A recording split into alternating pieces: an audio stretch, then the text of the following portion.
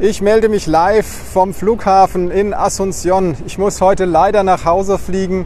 Ich wäre sehr, sehr gerne länger geblieben. Hinter mir der Flughafen.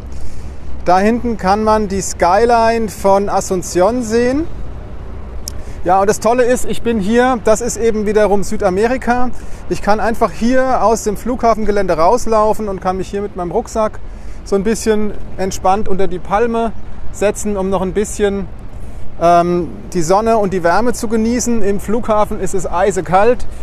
Im Flughafen ist sozusagen ja, Europa, Welt, ihr wisst, was ich meine, ein Nichtort. Ähm, da ist einfach äh, kein Leben ja? und äh, ich kann das hier draußen noch ein bisschen genießen. Und das Schöne ist, hier kommen eben einfach nicht irgendwelche Sicherheitsleute und fragen, was machen Sie denn hier und äh, gehen Sie mal weg und das ist doch komisch.